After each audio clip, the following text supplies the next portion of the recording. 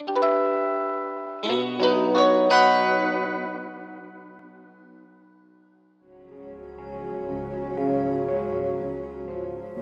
there, this is Amy, and in this video I'm going to show you everything you need to know to take a great photo of the night sky with a DSLR camera.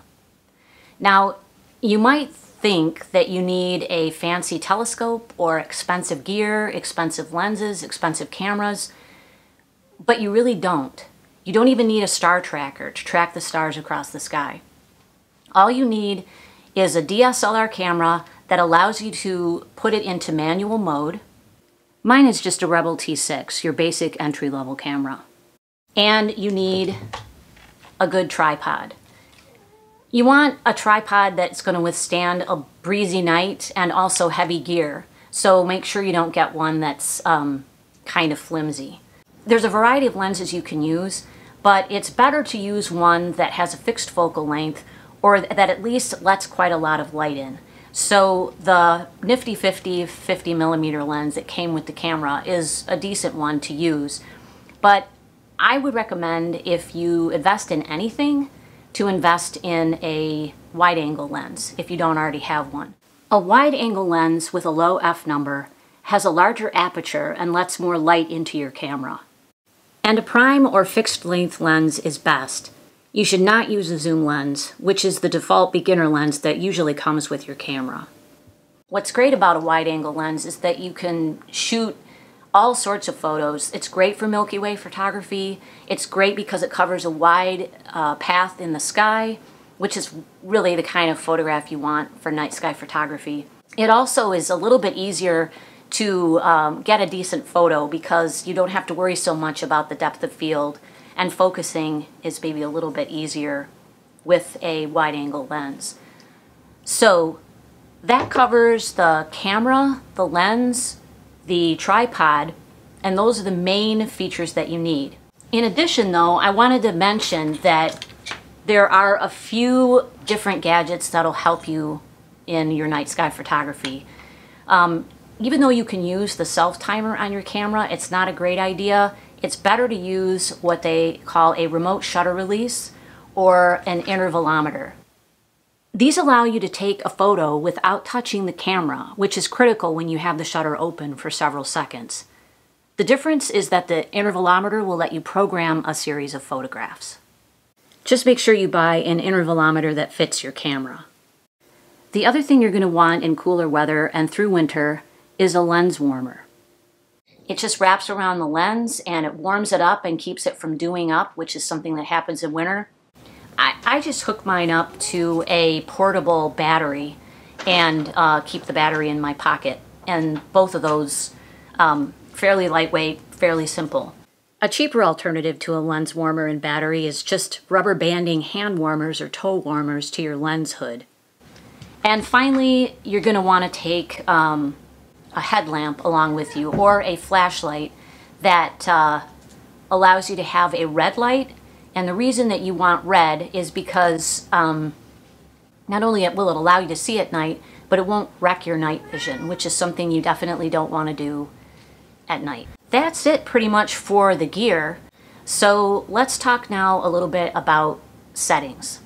Okay, for your camera, you want everything on manual. That's the biggest, the most important thing. You're going to want to switch your camera over to manual. You also want to be sure to turn off your camera's image stabilization and any autofocus if your lens has that feature. Now, the aperture. What you need for the aperture is uh, typically you want it to be at the lowest number, the low f-stop, the lowest one that your lens will even allow because this brings in more light and allows you to get more stars and more deep sky objects in your photo. The next thing is the ISO. Typically for night photography, you want it pretty high. So um, 1600 or higher.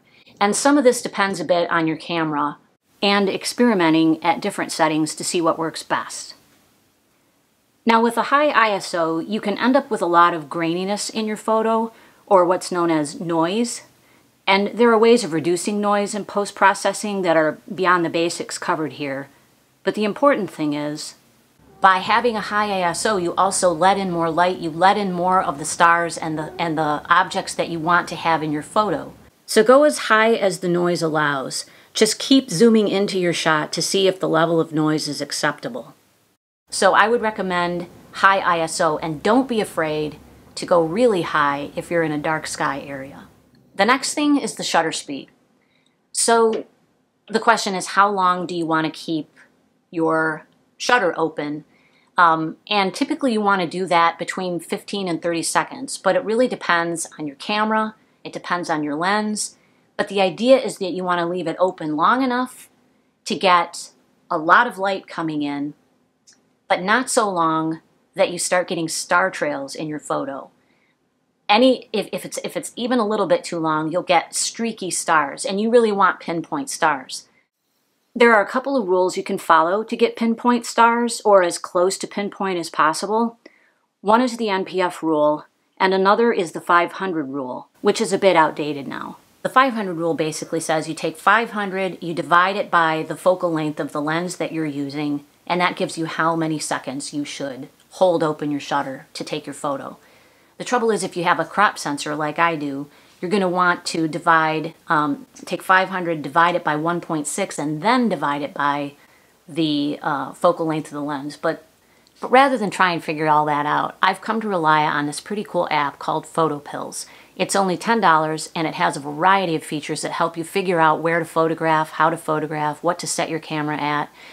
And it's got a feature called the Spot Star Calculator that will give you both the NPF and the 500 rule.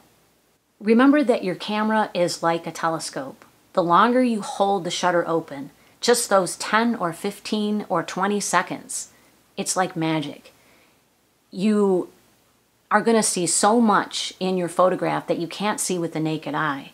And you're going to see a lot of things you didn't expect to see. You're going to see um, all of these stars. You might see clouds, wispy clouds that you didn't even know were still there. You might see the um, the light on the horizon, the glow of the horizon from the sunset that you thought was completely over, but there's still a glow there. And of course, you'll you'll see any lights, the headlights or the the glow of the city in the background. Sometimes, though, especially with Milky Way photography or uh, panorama views with that you can get with your wide angle lens, having some of that glow can really improve your photo because it can light up a bit of what's in the foreground or what's at the bottom of the photo to contrast with what's up in the top. The final thing you need to know is that you want to shoot your photos in RAW.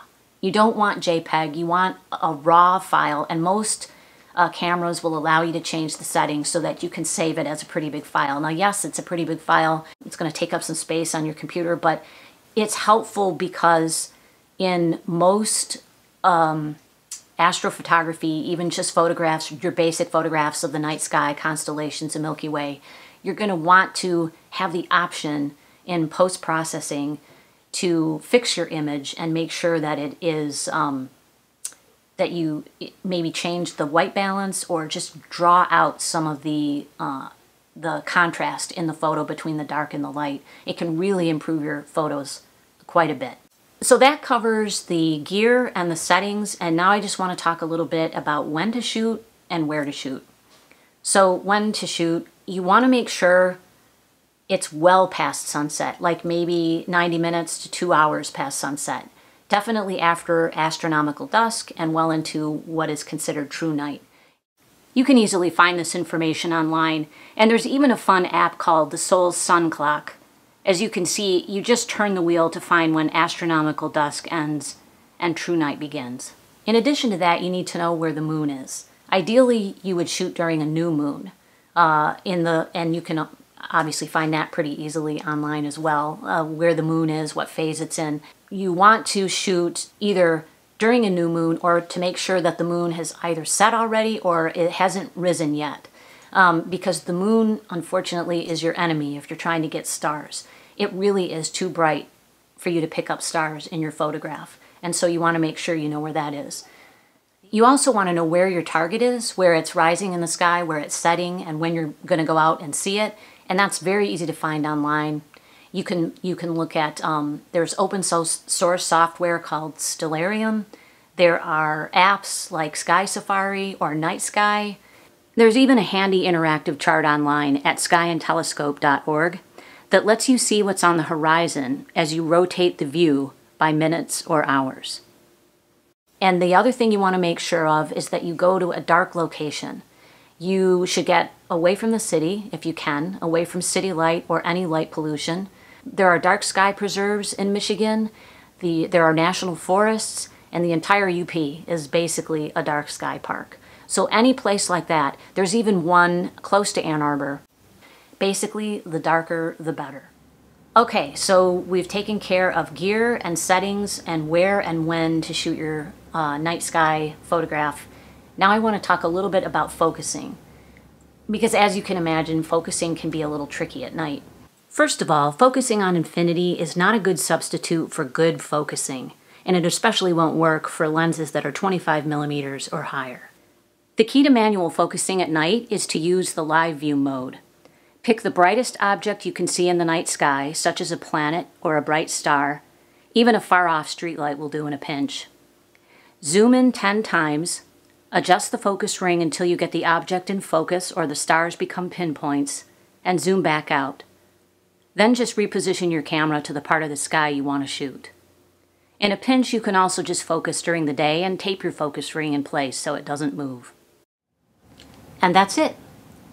That's all the gear and settings and basic information you need to take a photograph of the night sky.